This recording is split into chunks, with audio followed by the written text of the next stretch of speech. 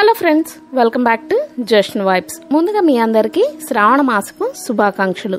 అలాగే వరలక్ష్మి వ్రతం శుభాకాంక్షలు. శ్రావణ మాసం వచ్చేసిందంటేనే మనకి ఎంతో ఆనందం. మహిళలందరూ కూడా అలంకరణలు పూజలు వ్రతాలు నోములతోనే బిజీగా ఉంటారు.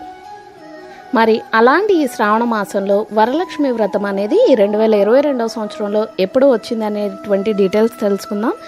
దానికన్నా ముందుగా ఈ వరలక్ష్మి వ్రతాన్ని ఎలా జరుపుకోవాలి? పూజారి లేకుండానే మనం ఇంట్లోనే సొంతంగా ఎలా చేసుకోవచ్చు అనేటువంటి వీడియో. అలాగే ఈ వరలక్ష్మి వ్రతానికి సంబంధించిన రకరకాల డౌట్స్ ఉన్నాయి. కలసాన్ని ఏం చేయాలి? ఇలాంటివన్నీ కూడా ఆల్రెడీ వీడియో ఉన్నది. ఇంకా ఈ శ్రావణ మాసంలో చేతులు ఎర్రగా లేకపోతే ఏం బాగుంటుంది చెప్పండి? అందుకే ఎక్కువ టైం తీసుకోకుండా ఇన్స్టెంట్గా చేతులు ఎర్రగా చేసుకునే మెహందీలు వీడియోస్ కూడా ఉన్నాయి. ఇవన్నీ కూడా మీరు తప్పకుండా వాచ్ చేయండి. నేను ఆల్రెడీ డిస్క్రిప్షన్ బాక్స్లో కూడా ఇచ్చాను. అలాగే ఐ కార్డ్స్లో కూడా ఇస్తాను.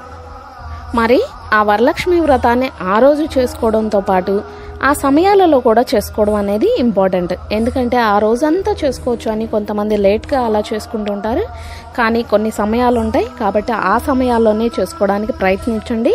ఆ సమయాలు కూడా నేను వివరించడానికి ప్రయత్నిస్తాను.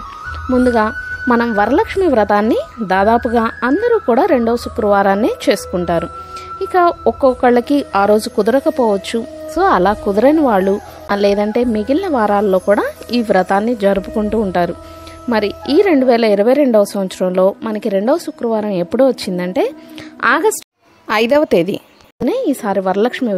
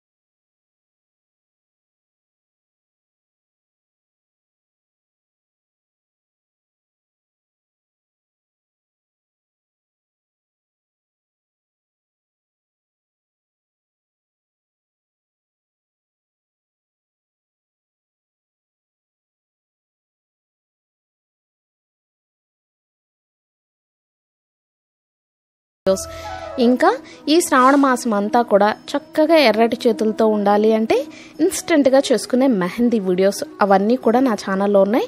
కాబట్టి తప్పకుండా వాచ్ చేయండి సబ్స్క్రైబ్ చేసుకోండి సపోర్ట్ చేయండి. Thank you so much